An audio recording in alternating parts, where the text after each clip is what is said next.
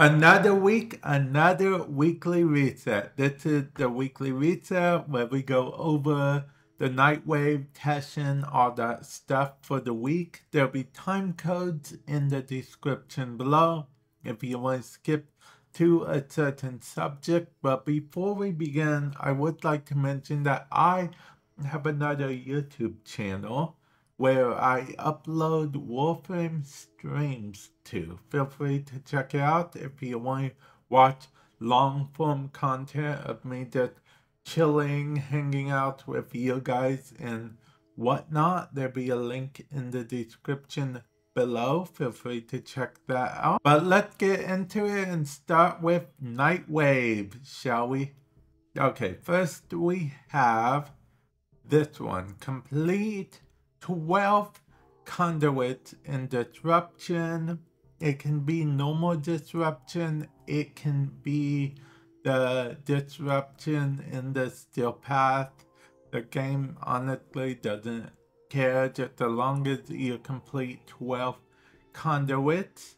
Then we have complete six invasion missions of any type.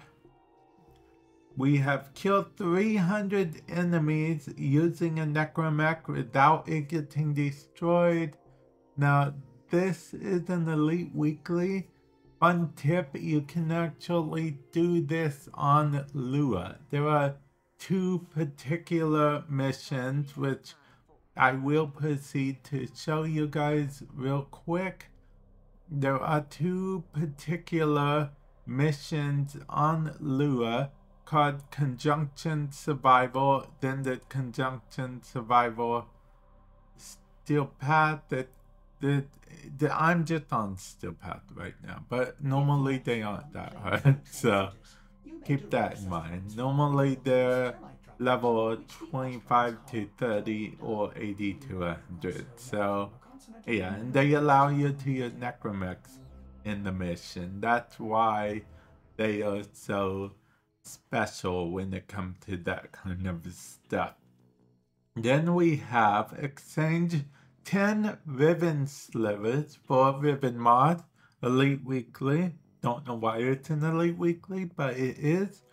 Then we have our regular permanent weekly mission. Kill 30 Eximus, complete 15 missions, and kill 500 enemies. These all you will complete just by playing the game. Now, technically, you should probably finish this one before either of them, but who knows? If you want to get this out of the way, you could just do 15 capture missions. They aren't different missions, they're just missions. So, definitely keep that in mind.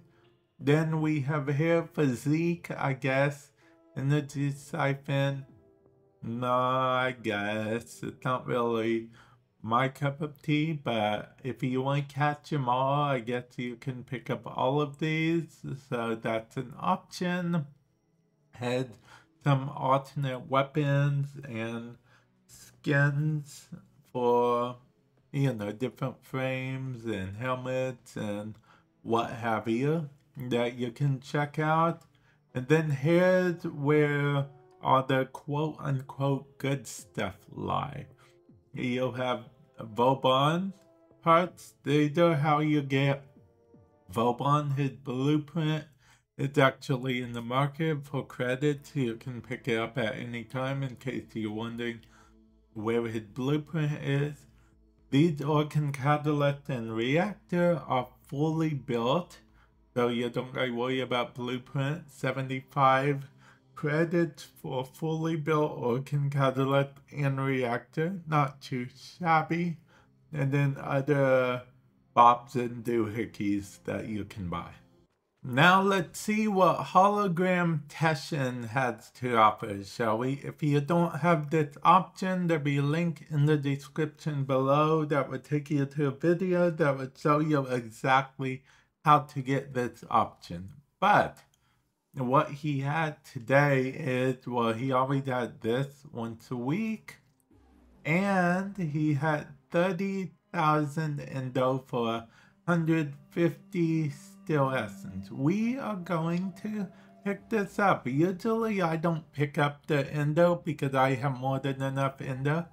But this time I am. It looks like we will have some farming to do on stream later on this week.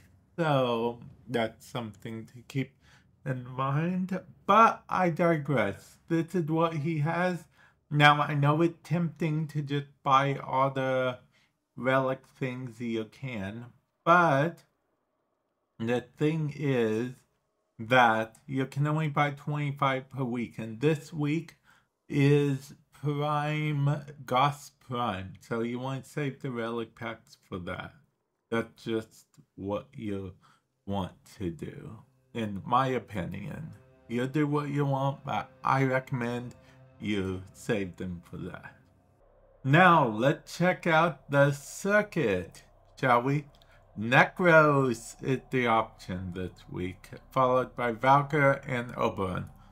Valkyr's easy enough to get. Oberon's annoying to get, but technically he does drop. Although he used to drop a lot more frequently than he does now. You used to get like a billion Oberon parts per mission. So I definitely recommend picking up Oberon if that's what you want to do, collect all the frames. But if you like resources, Nekros is your way to go. Because Nekros is all about the resources, okay? Just all about the resources. So my recommendation would be Nekros. Now, the Steel Path, okay? This is, honestly, this is what I was waiting for here because I see I even don't have every single one because some weeks I skip them, but this I definitely need. And then I guess this I need as well. So yeah, but if you did need any of them, you can just feel free to pick one of these four options. And then after you pick to your selection, you'll hit confirm and then there you go. Oh, it's doing Reaper. I might actually do some of this stuff on stream. Now for the Archon Hunt. So this is the Archon for the week. Your percentage may be lower or higher. Mine is at 80%, which means for this particular Archon shard, I'm 80% likely for it to be a Tauforged. If it is a Tauforged, it goes back down to 20%. If it isn't, it goes up by 20% to 100%. So, yeah, that is always good. Then we have mobile defense, disruption, and the final showdown, which is and basically Archon assassination, but the game doesn't count as an assassination. So that's something worth keeping in mind. And now, last but not least, Kahl's Garrison. Let's see what Chipper has to offer, shall we? Amber Archon Shard. Okay, I guess. That fine Chipper. As per usual, you'll have an Archon shard because that's literally the only of his inventory that changes as of right now. And then Kahl. Okay, so this had been the same Kahl mission for ages for me because of the fact that Kahl mission do not change unless you've completed it at least once for the week, which I do sometimes try to plan on doing Kahl missions on stream. It just never usually works out. What's funny is one of you guys actually called me out the other day. I completely forgot that I wanted to do more Kahl missions on stream, but but I'll I'll get around to it eventually, probably. But with that said, I'm going to end it here. Hopefully you guys found it helpful in some way, shape, or form. I will catch you guys in the future. Later.